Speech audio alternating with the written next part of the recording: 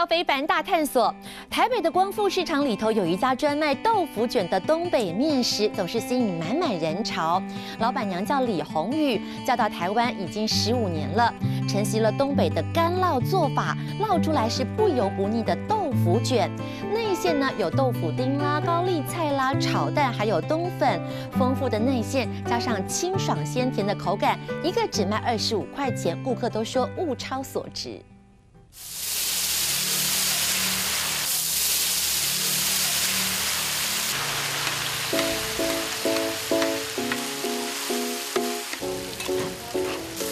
做的快炒豆腐丁，熟练的干烙豆腐卷，一早的光复市场，忙碌的节奏一如往常。老板李红宇的手从没停过，上门的客人络绎不绝，全都是为了这一位。我几乎天天来，因为这里的老板娘啊，她做东西做的精致啊，她是标准的东北人，所以她做出来这个北方面食啊，我吃得惯。啊，因为我自己本身山东北方人，就是很神奇的豆腐，可以把它包成一卷这样子。一般来说，豆腐都很容易碎掉啊，可是它的豆腐卷就是，就它其实做起来蛮特别的。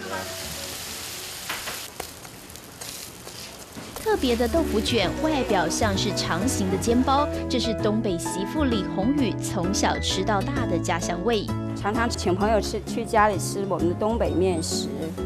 他朋友都觉得我做的这么好吃，要跟大家一起分享。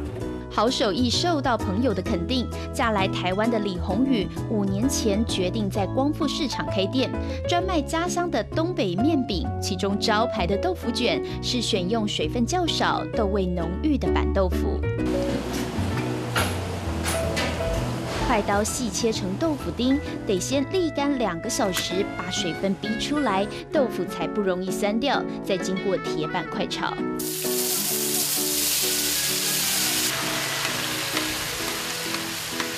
炒的时候一定要把水沥干，然后锅要热，所以下锅就可以了，它就不容易碎掉。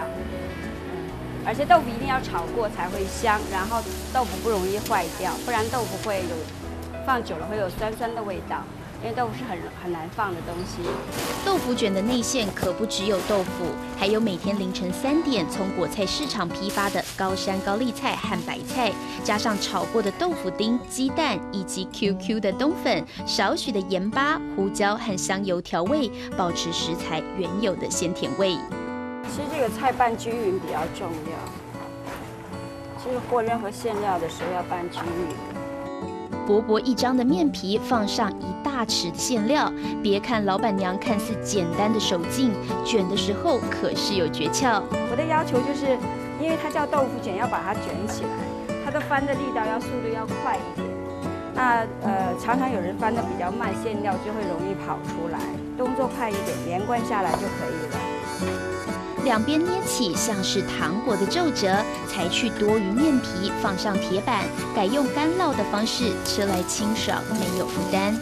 我尽量少油少盐，这样我觉得比较养生健康一点。因为现在人都不缺油，不像我小的时候，家里穷，吃点油都是很困难的一件事情。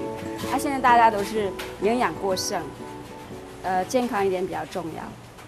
干烙成金黄色的豆腐卷，薄脆的外皮底下有着饱满的内馅，吃得到高丽菜的爽脆鲜甜，还有豆腐丁的扎实焦香，丰富的口感像煎包，却没有煎包的油腻感，非常清爽不油腻，然后很健康，因为有豆腐有蛋白有蛋有蛋就有蛋白质，然后也有青菜这样。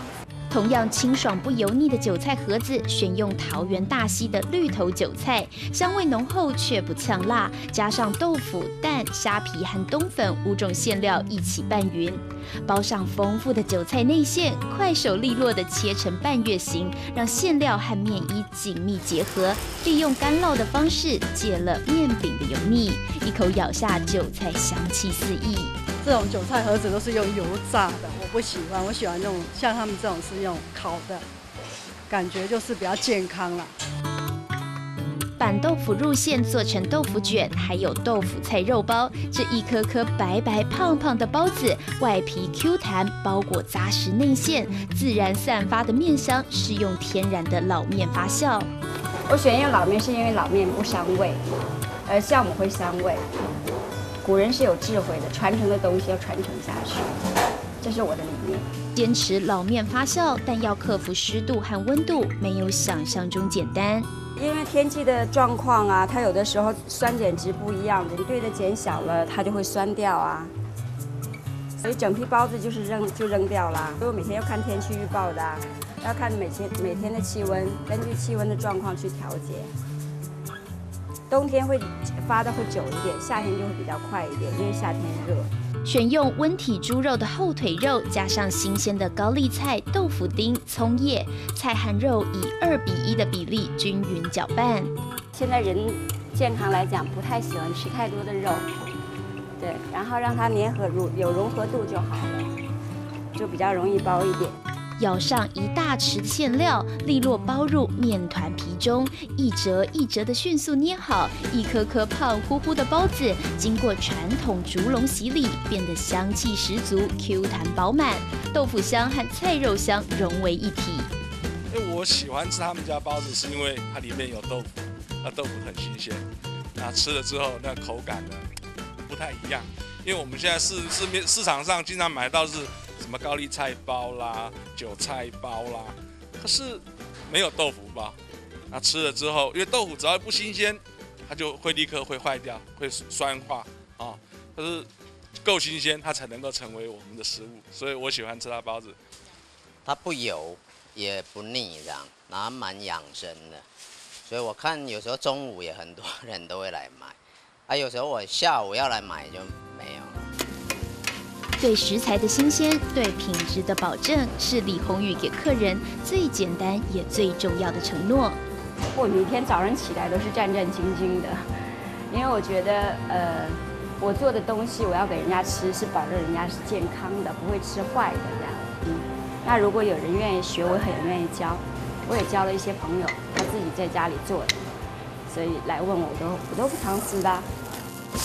大方分享美味秘诀，不论是豆腐卷、韭菜盒子，还是葱花大饼，李宏宇期盼来自东北的家乡味可以传遍台湾的大街小巷。在台中的北平黄昏市场里头，有一家山东千层大饼。来自山东的老板娘用半蒸半煎的方式做出来的饼，一点都不油腻。